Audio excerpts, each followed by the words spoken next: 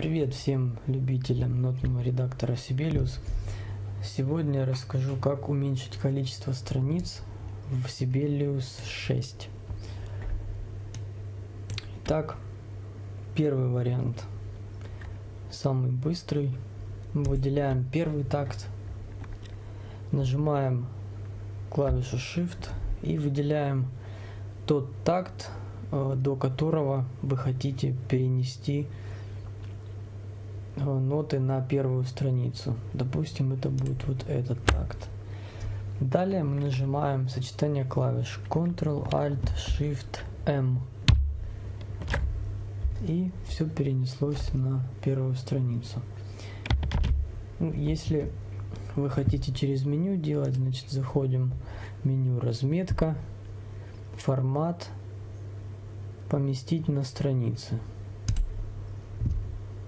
Вот. Еще один способ. Нажимаем Ctrl-D.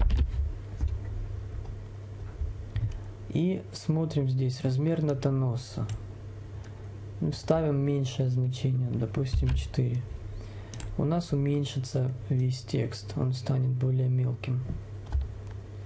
Вот. Но если автоматически не перенеслись такты на первую страницу, то делаем такую же операцию.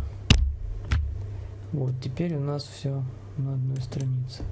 Ну, дальше распределять такты вы можете уже самостоятельно, в зависимости от вашей графики.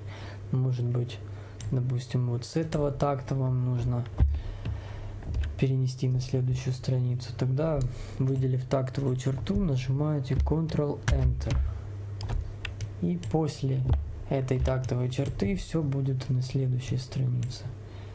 Дальше, если получилось вот так, что здесь две строчки всего, нажимаем Enter, снимается у нас э, блокировка этого такта и переносятся такты с, со следующей страницы.